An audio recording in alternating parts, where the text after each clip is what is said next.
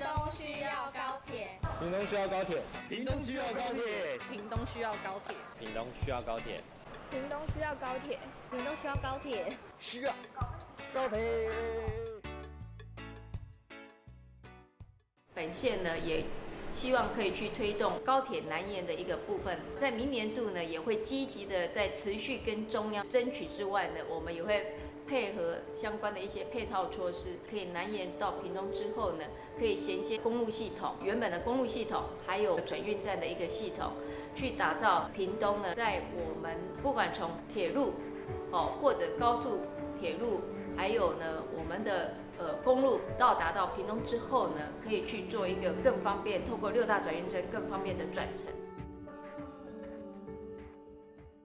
南到北的距离会越来越短，往返到垦丁也会是缩短很多的时间。像北部的车友，他们如果想要去垦丁骑车，或是要去台东，他们等于很遥远啊，就不用再花时间从新竹再搭台铁到屏东。那我现在在屏东当兵啊，现在来屏东很不方便。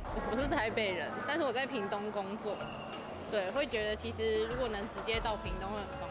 呃，去北部玩也不用花那么多时间。它目前就是只有就火车，然后还有客运。可是我觉得你如果真的是很临时要有行程的话，我觉得这样是非常不方便的。那又可以带动观光，要带动经济的发展，促进发展，掌握交通方便。一个转运站的一个系统，东、潮州、水门、东港。村的一个部分，我们会陆续呢，在明年度的时候呢，完成工程，配合公路系统之后，还有我们整个铁路高架化。那第一个转运站的话呢，是在屏东火车站，我们已经动土。第二个转运站在水门的部分，我们会配合屏北观光的一个部分去打造。那第三个部分的话，呃，主要是潮州的部分。那潮州的部分呢，也是配合铁路高架化。第四个转运站的话呢，是东港。那东港转运站呢，也是配合我们蓝色经济跟小琉球这个部分的一个发展。第五个转运站呢，吼就是恒春。那恒春的话，也是配合恒春地区的一个观光的一个部分。如果是要到垦丁，我们也可以透过火车。哦，我们已经到达到潮州之后呢，我们也透过潮州的一个转运站。也可以接着我们的公路公车，就可以直接到恒春转运站这里。那接着就是搭我们的市区公车，旅游到我们的恒春半岛的旅游。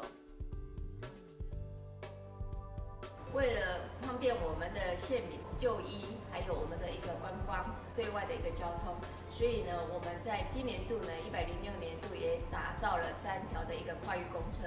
好，那第一条的一个跨域公车的话呢，是从平北。哦，平北到我们的高铁站。第二条的话，目前就从我们的潮州到一个我们的凤山的一个转运站。那第三条的话呢，就是平中的部分，哈，直接到我们的小港机场。这个是我们明年度很重要的一个三大跨域公车的一个规划。